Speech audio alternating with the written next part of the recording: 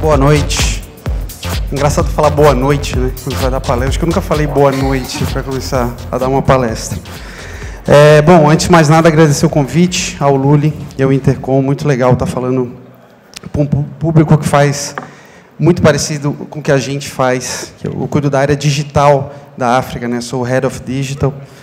E o tema que a gente vai falar hoje é essa relação entre criatividade digital e inspiração noturna. Publicitário é uma profissão famosa por virar muita noite. Né?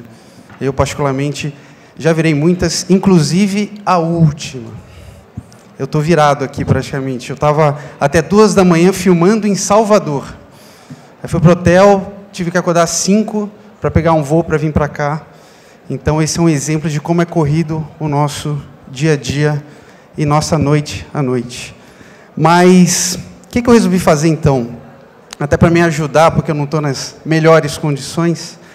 Eu trouxe aqui para falar com vocês o time que cria todas as ações de um cliente nosso, é um dos clientes mais ativos que a gente tem na África, que é a Procter, a P&G, e para exatamente mostrar um pouco de como é esse ambiente de, que a gente faz, que eu costumo apelidar de blitz criativa. Eu não gosto muito do modelo de duplas ou trincas isoladas. Eu pego todo mundo e ponho todo mundo para trabalhar no mesmo job, porque a coisa nasce mais rápida, né? O time, vocês vão ver, eu vou apresentar eles para vocês. Eles têm especificidades muito diferentes. Cada um vem de áreas diferentes, apesar de trabalharem no mesmo lugar. Então isso ajuda muito na hora de você ter novas referências, enfim, da ideia surgir mais rápido. Então, por favor, subam ao palco para me ajudar. Esse é o time esse é sim todo o time.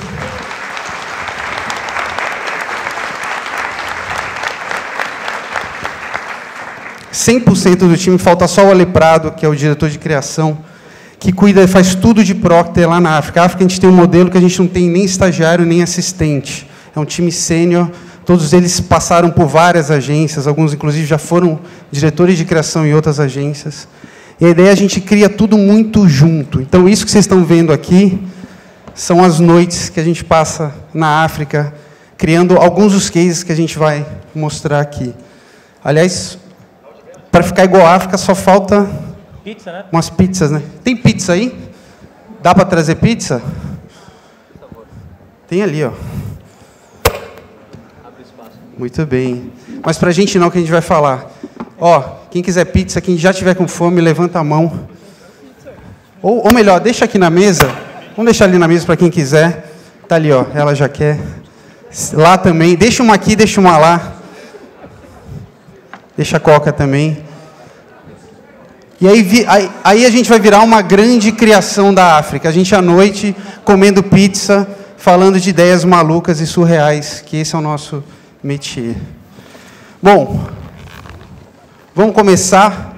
Para apresentar a primeira ideia, vou passar para o Bruno, Bruno Couto, que além de diretor de arte, ele é um blogueiro, é um cervejeiro blogueiro, ele é dono daquele blog Eu Bebo Sim, um dos mais reconhecidos, e vai contar um case aqui para a gente. Pega esse aqui. Alô? Aí. E aí, galera, boa noite.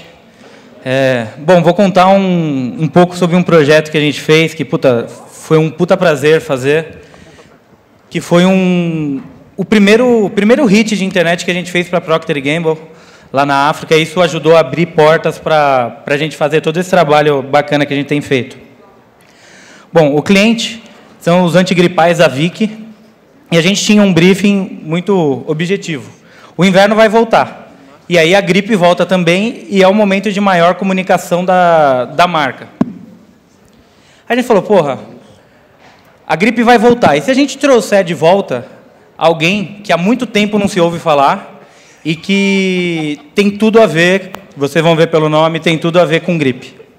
Bom, buscamos lá na nossa memória e trouxemos de volta o Atim Espirro. Muita gente aqui deve conhecer os palhaços dos anos 80, muita gente embalou as infâncias ao som de Chegou, chegou, está na hora da alegria. E Ele, já, ele não quer falar, mas ele foi num show do Tim Espirro. é verdade, fui em Guarulhos ainda criança. A Tim Espirro foi lá com o King Kong e seu King Konguinho. Enfim, quando a gente teve essa ideia foi muito legal, então a gente pensou, porra, mas a gente precisa fazer alguma coisa de diferente com, com esses palhaços. Se a gente só trouxer eles, não vai, talvez não vai gerar toda a notícia e todo o barulho que a gente gostaria. E aí eles voltaram só como uma dupla de rap. E uma dupla de rap de verdade. Então aí começou todo o processo de, meu, vamos transformar eles numa dupla de rap de verdade, fazer como se fosse a volta de, de, de artistas de uma forma repaginada. E se eles eram uma dupla de verdade, eles precisavam de um rap de verdade. E aí a gente recorreu alguns dos maiores nomes do rap que tem aqui no Brasil, principalmente em São Paulo, que é o Coletivo Instituto, que talvez vocês não conheçam pelo nome, mas porra, eles fizeram desde o, a trilha de Cidade de Deus até trabalhando com nomes como Sabotage, é, Planet Ramp, Benegão. E aí a gente foi atrás de um cara para fazer uma letra de rap, que é o Rincon Sapiência, que é um, um nome da nova geração do rap que está despontando aqui em São Paulo. Ele falou, ah, vamos usar o mesmo figurino, né? Só que não. Só que as primeiras ideias parece que não deram muito certo. Eles ficaram mais parecendo vilões de filme do Zé do Caixão. Bom, aí a gente, primeiro, o primeiro lance a gente falou, porra, se eles são um grupo de música, eles precisam voltar nos principais veículos de música. Então a gente contratou uma assessoria de imprensa especializada em música, que eu acho que foi um dos grandes trunfos do, dessa campanha. E lógico, com um pouquinho de força de mídia também, a gente conseguiu colocar eles na capa da Billboard, da Rolling Stone, eles saíram na capa da, da Folha Ilustrada, E aí, beleza, a gente já tinha os palhaços, estava com a roupa bonitinha, faltava um clipe legal. A gente foi para o centro de São Paulo, junto com o Johnny Araújo, que é um dos principais nomes de clipe da época que a MTV bombava. Eles fizeram é, Marcelo D2, Charlie Brown Jr. A gente colocou um pouco das fotos para vocês terem uma ideia de como é o momento ali da gravação. No cantinho esquerdo vocês podem ver o Eco me trollando ali. Tinha virado a noite também, olha lá. Estou dormindo no centro. Então, bom, vamos parar de falar, mostrar um pouquinho para vocês o que foi isso.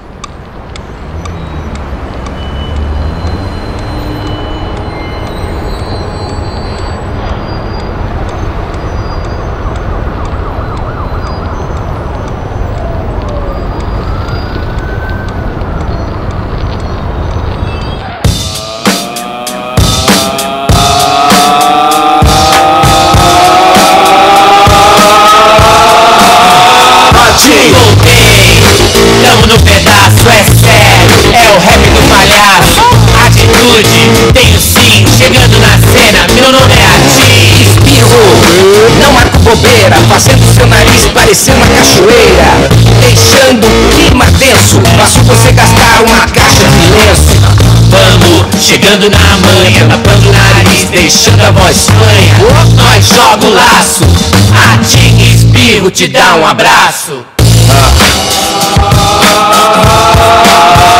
Atinho invadindo a cidade Se vai dar uma febre Radinho espirro tão de volta nesse jogo. Mas eu te pego Pra te deixar mais quente Radinho espirro faz o circo pegar fogo. Se nós abalar geral Você na febre cê passa mal. Uau, prejuízo cruel O dia se vai em bolo de papel? Vamos dar o bote, um convite VIP Bolar de camarote na festa da gripe. Ratinho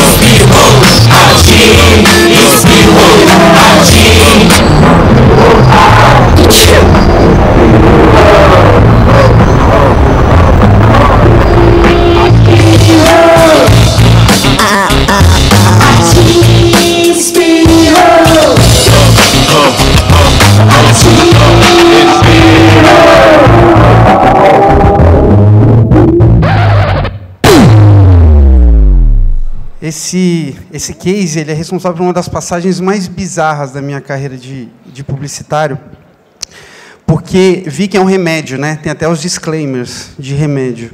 E a gente teve uma série de calls com advogados para saber o que podia falar ou não. E tinha um trecho da música que eles cantavam: Ah, vai te deixar na febre. E você não pode dizer que vai deixar na febre, que cura a febre. Então, uma série de restrições de remédios. E a gente falou assim: caramba, tem que mudar a letra tal. Aí o Bruno Gênio, a gente estava em mute, ele falou assim: ah, vamos pôr na letra se pá vai dar uma febre. Aí eu tirei do mute falando com os advogados, falei assim, tem uma condicional muito comum usada pelos rappers, que é se pá. A gente pode colocar isso na letra porque aí deixa de ser uma afirmação e passa a ser uma situação hipotética. Silêncio do outro lado, aí o advogado fala assim: Olha, por mim está ok. Aí o cliente fala: Por mim está ok. Eu falei: Então vamos de se pá vai dar uma febre. Então, momentos surreais da nossa carreira. Né? Isso rolou à noite, inclusive, né? Essa call com o cliente, quatro debruçados no telefone, procurando condicionais usadas por rappers. Bom, e aí tem um, um previewzinho aí para mostrar views, que é. teve 7 milhões de views. Hoje em dia a gente já fez alguns cases com, com, com mais do que isso, mas na época para a gente era bem novidade, até para o mercado era bem novidade. Então foi, foi um feito bem interessante. E eles saíram na internet, né? Embalaram a infância de muita gente. Vamos receber com muito carinho eles que voltaram agora com a força toda. E eles estão aqui. Chega de palhaçada! E agora temos a honra de receber aqui no estúdio nossos convidados da Semana da Criança. Sim, a Tim Espirro! A Tim Espirro! A dupla A Tim A Tim Espirro! Nada mais, nada menos do que os palhaços A Tim Espirro! Vem aí, vem aí, ATC, ATC, ATC, Espirro, vem, vem, vem!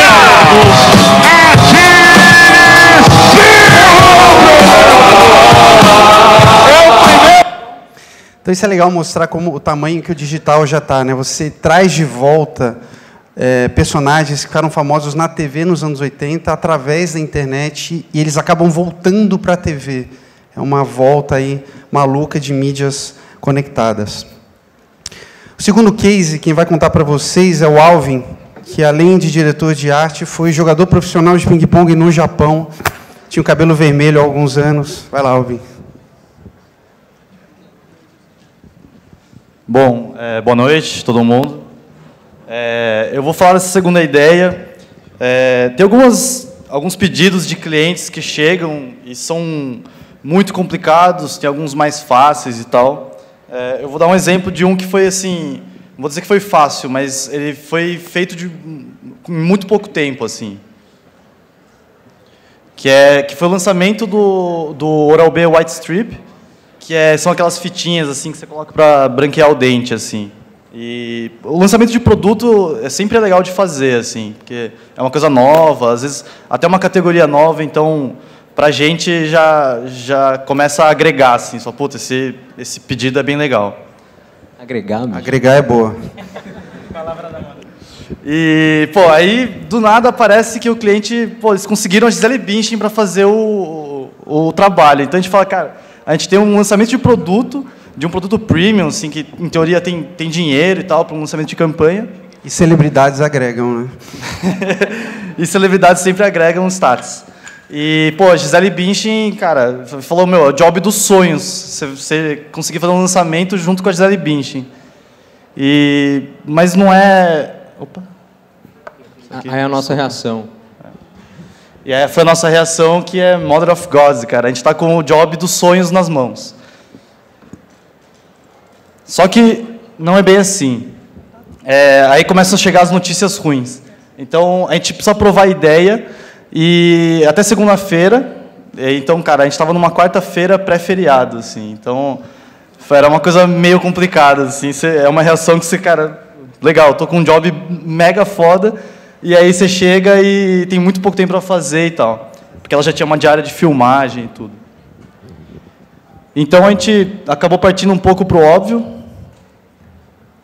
E, pô, como que a gente vai salvar o nosso feriado, né? Que era em teoria era bem importante assim. Todo mundo tem planos, né? E bom, a gente parou lá no de noite, na quarta-feira, falou, cara, vamos salvar o feriado, vamos. Tá, então a gente tem o produto e o produto chama Strip. E, pô, a gente tem a Gisele Bündchen, cara. O que a gente vai fazer, cara? Aí você fala, puta, será, será, não? A bola quicando, né? Quicando, cara. Aí a gente falou, meu, vamos lá, então. E se a gente fizesse o strip da Gisele? Foi mais ou menos isso.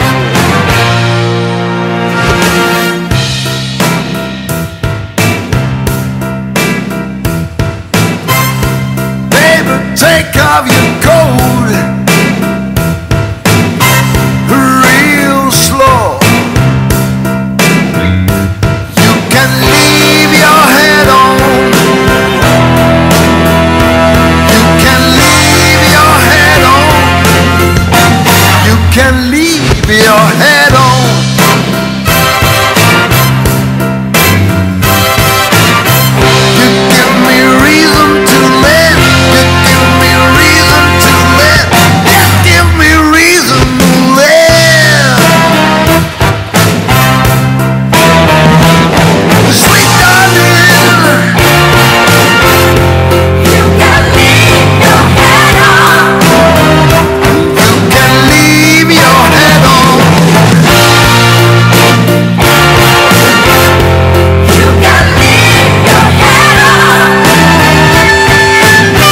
Esse é o strip da Gisele, o novo 3D White Strips da Oral B que faz sucesso no mundo todo e acaba de chegar ao Brasil. Afinal de contas, um sorriso bonito é tudo. Não é?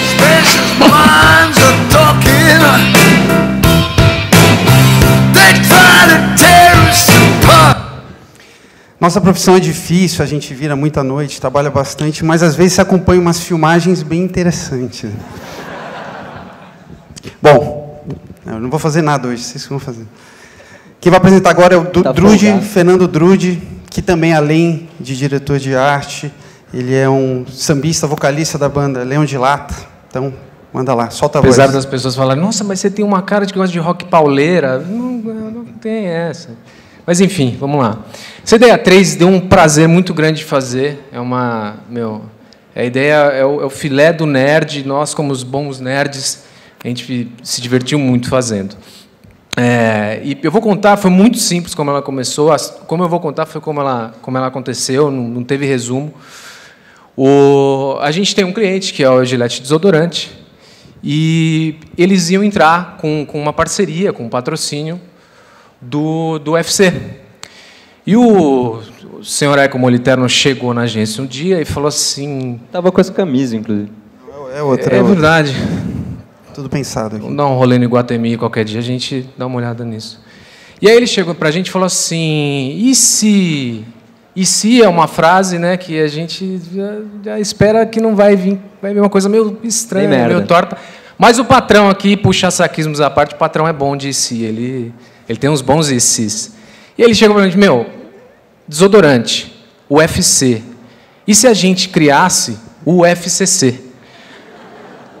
Cara, o UFCC tá tudo aí, o universo de UFCC tá aí, cada um de vocês devem ter imaginado alguma coisa. E pra gente foi fantástico. A gente começou a, na hora, brainstormar sobre isso e surgiu a Liga dos Cheiros Pesados.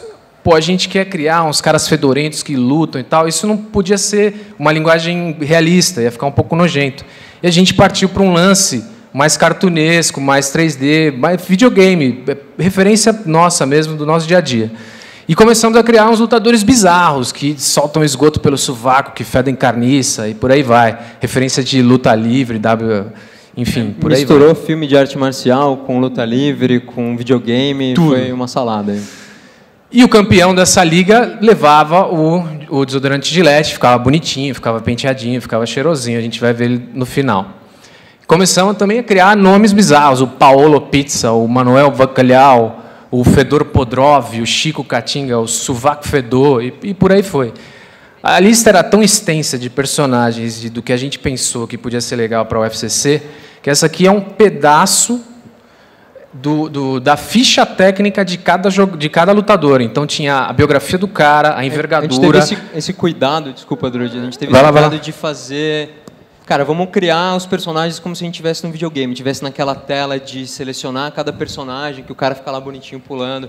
A gente criou, ah, o cara, ele é nasceu, ele é o veterano da categoria, todo um, cada um deles tinha a biografia, onde ele nasceu, a idade, o alcance, a transpiração, quantos litros por hora, o golpe de que era o golpe principal do cara, que era o triângulo de gorgonzola, e cada um dos 20 personagens que a gente criou tinha, tinha o seu próprio universo, a gente estava imaginando ele já na tela do videogame. O André tem um carinho muito grande, ele conversava com alguns desses lutadores. É, às eu vezes, né? falava com ele. Ele tem um carinho muito grande. E, meu, só para ter uma ideia do nível de detalhe e do quão legal foi fazer isso. Levando para o cliente, está lindo, manda pera. Isso aí, meu, mais do que aprovado. Como a gente vai fazer aí um curta de animação, vamos dizer assim, porque a gente vai, vai para essa linguagem do game, do 3D, dos personagens mais cartunescos, tem um disclaimer, tudo tem um disclaimer né, na, na, para a criação.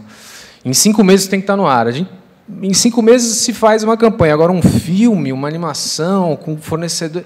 É, é muito complicado, então era um grande desafio. Foi aí que apareceu o, o Ale, um dos diretores de criação é, lá da África, ele trouxe a referência da Tecnoimage, que fez esse, esse curta que eu trouxe um trechinho para a gente ver, que é fantástico, que trabalha em parceria com a Mindbinder, que é um estúdio na Suécia que, que faz modelagens e renders para, inclusive para DreamWorks. Então a gente estava em ótimas mãos, em excelentes. E essa, esse é um lance que, que o criativo tem que levantar a bunda da cadeira, ir no RTV e brigar pelo melhor fornecedor. Porque se o cara tem uma ideia boa, ele não vai avacalhar essa ideia com uma execução ruim. Né? Uma ideia boa eh, merece uma execução melhor ainda do que ela. E aí, cara, é tão bom esse tipo de, de cuidado com o job, porque só vinha coisa legal para a gente. A gente, não, a gente brifava os caras e começava a brotar no nosso e-mail coisas fantásticas, como esses concept arts do, do, dos lutadores que ficaram como os finais, né, o Paulo Pizza e o, e o Mike Esgoto. E chegava coisa muito legal. A gente falava, meu, não tenho que mudar, não tenho que reclamar. Eu não vou reclamar com o fornecedor, não é possível, não tenho que mudar. E começaram a chegar umas modelagens. Eles mandaram a modelagem do ratinho que passa no ombro do Mike Esgoto numa cena 3, dois segundos. Era um nível de detalhe absurdo. A gente pirava muito, pirava, parecia criança. E chegava alguns testes de animação, umas coisas engraçadas. Já começava a dar uma ideia de como esse cara, qual é a pegada desse cara e tal um shooting board maravilhoso que eu imprimiria e colocaria na, na parede do meu quarto. Enfim, eu não, não, fiz isso, mas fica aí, eu gostei bastante dele. O Druid também conversa com os personagens. Também. E para vocês terem uma ideia, a gente dividiu esse animatic com o cliente, que é meio bizarro, mas já começa a contar a história do jeito que a gente quer. Ou seja, tanto nós quanto o cliente, a gente estava seguro de que ia ter uma, uma produção final excelente e tinha que fazer isso pouco a pouco, né? Então o cliente meio que aprovando cada três frames do filme e a gente foi construindo é, em cima da animação para dar tempo dentro desses poucos cinco meses que a gente tinha. Exatamente, mas foi tudo muito legal. E aí a gente tinha na mão um curta de animação, um sonho, mas a gente precisava terminar de contar essa história, completar ela, porque tinha muito conteúdo, como a gente falou para vocês. E a gente usou uma incrível palavra da moda da publicidade, que é o storytelling, que, apesar do, do, sarcasmo, é uma coisa que faz muita diferença numa campanha. A gente começou a criar o universo do FCC, que era muito grande. Então, tinha um canal exclusivo no UOL que contava a vida fictícia desses lutadores da Liga. A gente colocou na, é, é, notícias, editoriais na Home da Globo, na Home do UOL, enfim, de vários portais. A gente, a gente trouxe, tentou transformar para o mundo real as histórias que a gente não conseguiu contar, porque é caro fazer um curta de animação. A gente conseguiu fazer uma luta só das 5, 10 que a gente queria fazer. Então a gente trouxe essas lutas e toda a história que a gente tinha criado, é, a gente trouxe para o universo de publi editoriais. A gente começou a criar notícias e factoides em cima do, do, desses canais que a gente comprou. Inclusive com, com, com ajuda de, de lutadores reais. Então, o Belfort, o Ito, foi a luta mais suja que eu já vi. O César Mutante disse que estava assustado e tal. A gente Fizemos a capa, capa do, do Metro também. O UFC ganhou um novo lutador, Max Goto, com um pack de produto. Foi um misto de campanha muito legal de produto e muito legal de, de conteúdo. Depois de cinco meses, você vê o resultado. Antes de mostrar, só queria é, deixar aqui uma experiência minha que para fazer valer a pena trabalhar de madrugada, para fazer jobs tão legais quanto esses, pelo menos eu acho que a gente está mostrando aqui, Tem uma, uma coisa que eu persigo sempre e, e, e tento fazer com que isso aconteça sempre nas empresas que eu trabalho. Tra primeiro, trabalhe sempre com pessoas melhores do que você. E, segundo, se você conseguir, bom, se não, uma pena, mas sempre tente. Trabalhe com pessoas que você admira e respeita. Vamos dar uma olhada. Bonito isso. Bem-vindos ao UFCC, a Liga dos Cheiros Pesados. E o campeão leva o antitranspirante Gillette, que elimina o mau cheiro, não mascara. De um lado do ringue, o desafiante Mike Scotto. Vou eliminar o mau cheiro de verdade e voltar pro UFC. No outro corner, o campeão do mau cheiro, Paolo Pizza. No aguento mais mascarar esse CC. Esse antitranspirante Gillette vai ser mío. E começa a luta. O vencedor vai eliminar o mau cheiro e voltar pro UFC. Pizza jogou álcool no esgoto. Mas aí não vale, ele tá armando o triângulo de gorgonzola. Ah, mas o Pizza vai levar o troco. É uma chave de esgoto. Acabou! O vencedor é Mike Scotto. E como prêmio, ele levou o antitranspirante Gillette, que elimina o mau cheiro, não mascara.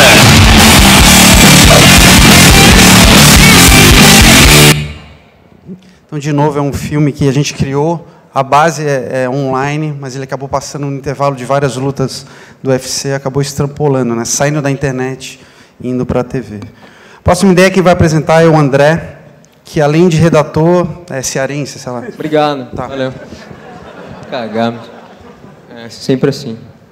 É... De onde eu vou falar? Onde eu tô?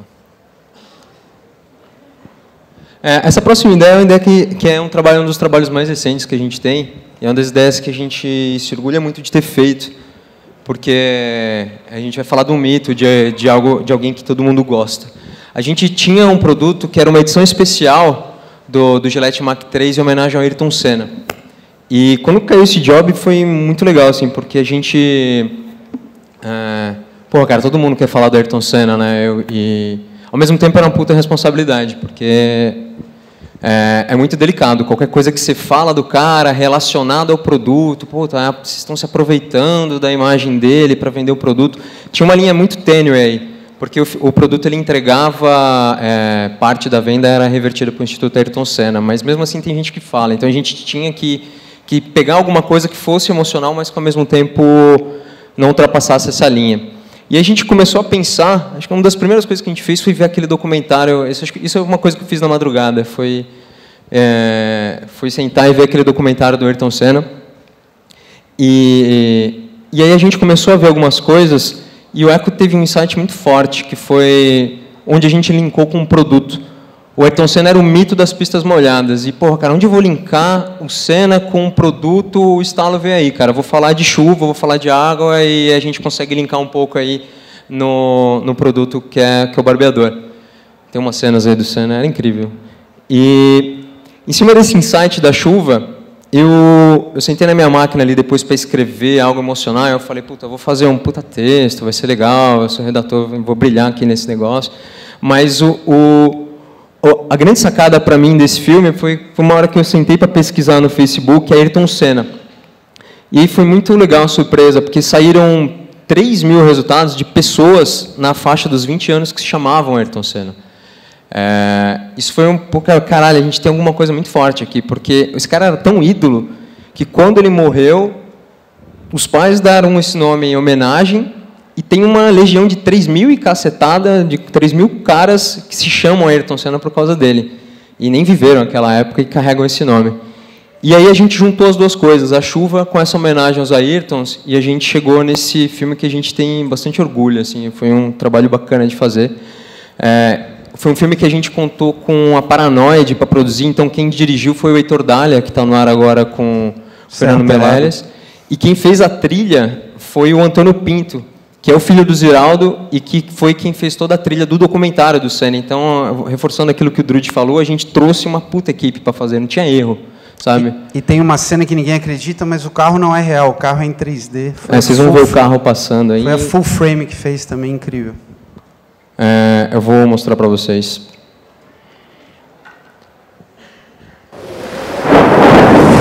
Domingo com chuva é sempre um pouco triste. Mas antes, não era assim. Há 20 anos, a chuva trazia alegria aos domingos de manhã. Alegria pilotada por um herói que tinha o poder de controlar a chuva. E deslizando sobre a pista molhada, ele era ainda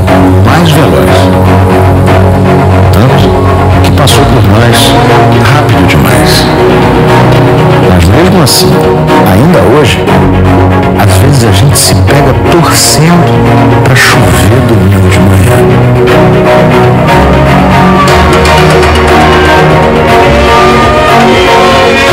Novo Gillette Mark 3 Turbo, edição limitada a Ayrton Senna. Uma homenagem da Gillette ao mito das pistas molhadas. Parte das vendas será destinada ao Instituto Ayrton Senna.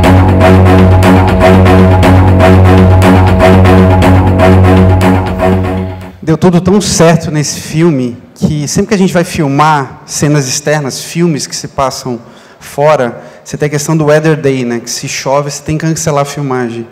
E esse, a gente estava torcendo para ser o contrário, para chover no dia. E no dia choveu muito. Então tem água artificial ali, obviamente, para dar o efeito da Phantom, né? Que é a câmera que faz em slow motion. Mas no dia, até nisso, foi bom que choveu pra caramba. É, o, o carro que vocês veem lá, a gente filmou com um kart para marcar, para entrar com 3D depois e fazer o, o carrinho passando. Oi. É, e aí, completando essa história, a gente resolveu contar. Era uma história muito rica esse lance dos Ayrton Sennas. Ele não podia ficar só no filme. Então a gente a gente resolveu fazer um documentário e mostrar a história de cada um desses caras.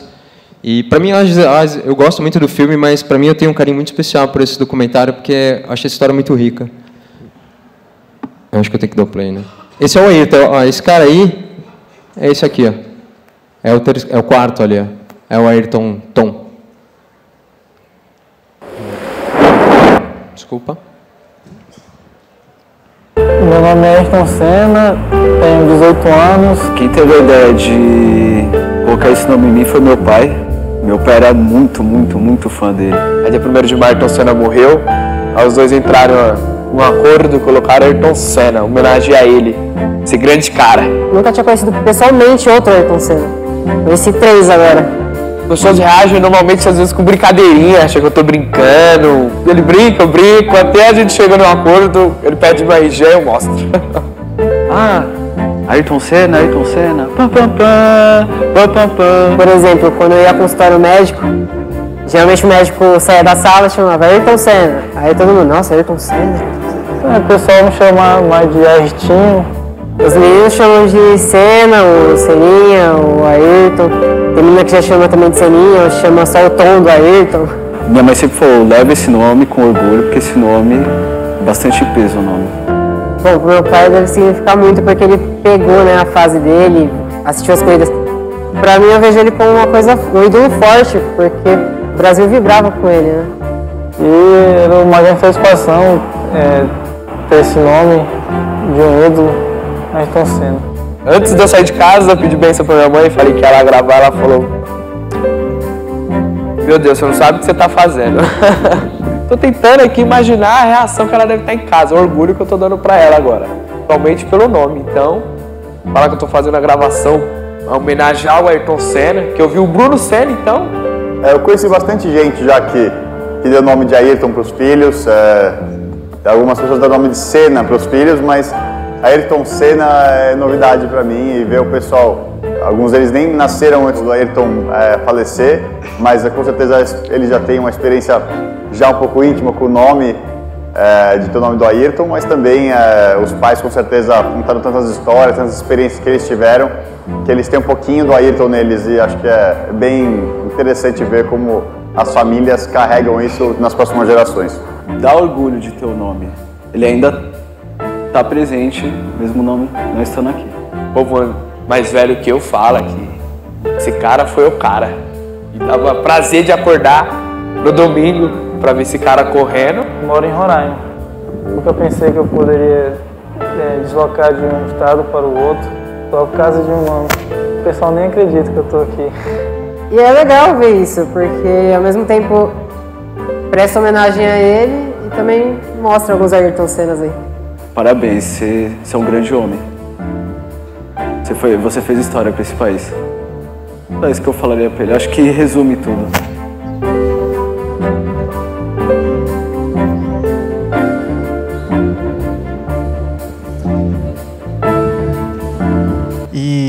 A gente está torcendo muito. Aquele rapaz que é de Roraima, ele é jogador de futebol juvenil. E a gente está torcendo muito para ele chegar um dia na seleção, porque imagina se não é o sonho do Galvão Bueno narrar um gol do Ayrton Senna na Copa. É. Imagina, morre, né? É, a gente- E tem, tem uma curiosidade nesse job que no, no filme inicial, ali naquele primeiro filme, a gente criou com o Prost no lugar do Ayrton Senna. E a gente negociou. lugar do Bruno. É, no lugar do Bruno Senna, perdão.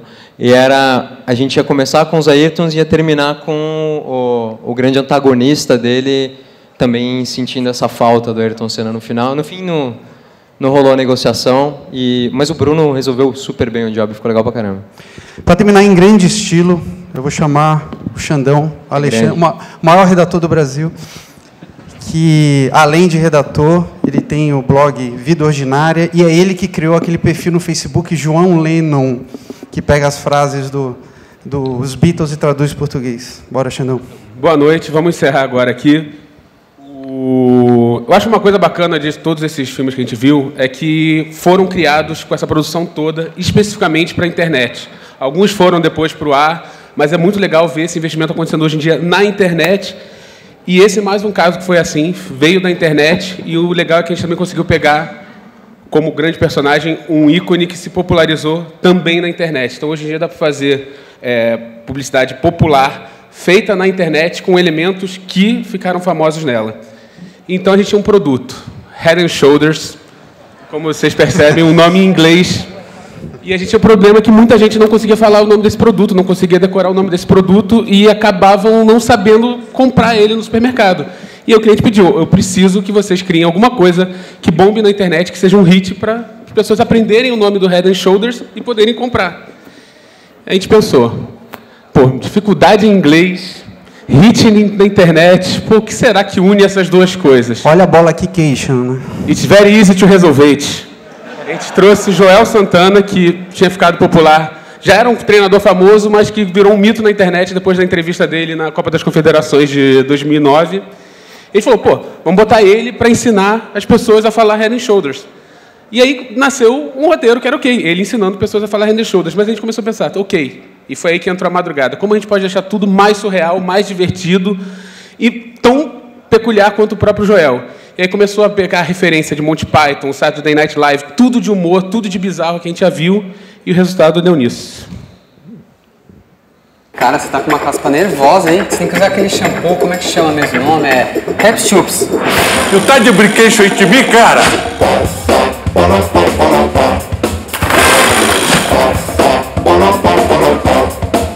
You are a very much Caspa man. Do you know the number one shampoo contra caspa in the world? Look aqui, head e shoulders. Head e shoulders. Head e shoulders. Capitation. Que? Shoulders. Head and shoulders. Head and shoulder remove 100% of the caspa under the tape to your hair. You put the shampoo in the middle, from the front, from the behind, under the caspa, don't decay your shoulder. Please look to me, not that. Ah, please. Head and shoulder, head and shoulder, head and shoulder, head and shoulder. Head and shoulders. Finish the cotterês in the head. But, peraí, eu não preciso. Ha! You are caricature. You don't have caspa. Head and shoulders é da P&G. Procter and the Gamble. Understand? E a ideia acabou virando um meme e as pessoas começaram a usar naturalmente no Facebook, no Twitter, criaram imagens de meme com You Tide Brincation With Me, que curiosamente era uma frase que não estava no roteiro original. A versão original era You Tide Sacanation e a gente teve que mudar porque muita gente achava Sacanation um termo pesado. A gente foi pegando alternativas e a gente nunca podia imaginar que fosse essa palavra e essa frase que ia acabar se tornando a marca registrada do filme. Tanto que quando a gente já tinha uma continuação pronta, a gente gravou uma cena extra só para ele começar com o Brincation e a gente fazer o segundo ponto, que era para realmente fixar na cabeça das pessoas o nome Head and Shoulders de uma forma divertida, que foi criando uma música e transformando o Joel num astro do rap. Ainda nota Playstation, qual shampoo number one contra a caixa in the world? Ha! You tá de brinquedo with me, cara? Look aqui!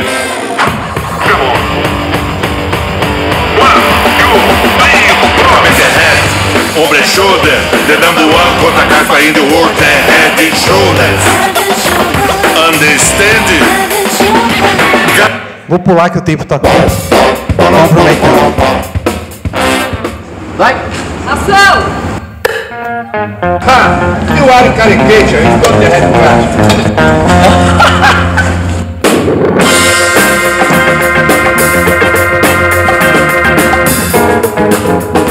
I'm sorry, finish.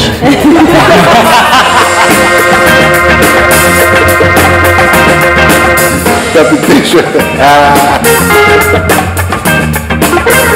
Ação! Did that take your hair? You put in the shampoo, in the middle, from the front, from the head e shoulders. Errei. You understand or not?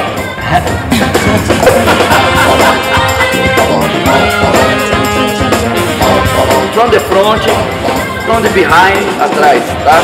Vai, Dudu! Olha lá, estreia aí! Olha pro Joel! From the front, from behind. Head shoot, head shoot, head shoot, head shoot, head shoot, head shoot. Yeah, yeah. Pô, chega, porra. Bom, chega pessoal, era isso. Só para mostrar um pouco para vocês como é o processo de criação desses cases. E é isso. Valeu, gente. Obrigado.